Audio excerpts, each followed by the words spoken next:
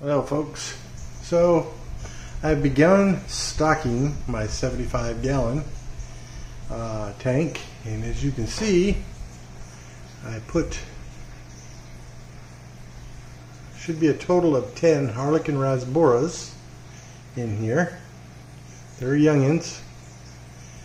Um, and then also, something I haven't had in a long time is swordtails. And so I found some green swordtails, and I love the green ones more than all of them.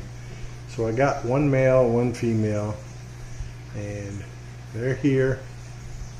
And I still have one Serpa-Tetra that uh,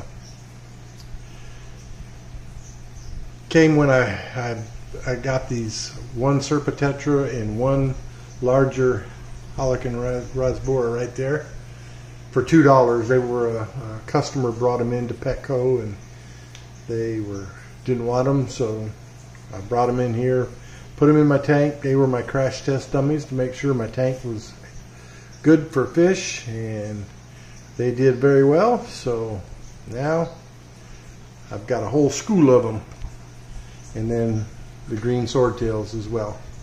So there's more to come. I want to get me some rummy nose tetras and put in here as well. Um, and we'll go from there and then maybe some other fish. But that's where I'm at right now. Everything seems to be looking good. Fish are doing okay. They're swimming around. I actually put some food in there and they all decided to eat. So that is a, a good thing. But I am noticing my little Serpa-Tetra over here. He's uh, kind of chasing around some fish. So I may stick him, grab him out of here and stick him in my 125 because I have Serpa-Tetras in there already. And that may be the smart thing for me to do. Anyway, this is where we're at with my 75 gallon and my my dirted tank. Let's go look at it real quick. So this is my dirted tank. Um, right now I just have shrimp in there.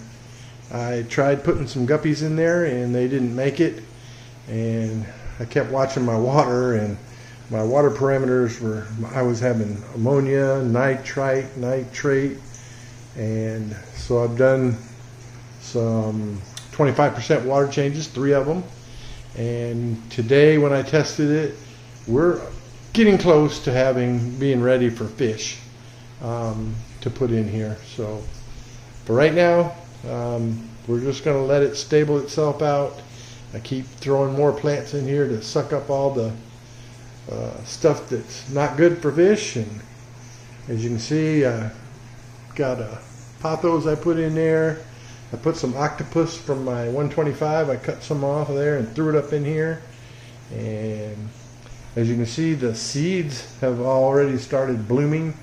And you see all that green foliage, that's all from the seeds that I had. And then some plants I got from Father Fish. So we're getting there slowly but surely. This tank uh, at some point is going to be ready for fish. I'm going to keep giving it, you know, probably another week or so and keep testing the water every day, making sure I'm not, you know, having crazy spikes and we'll go from there.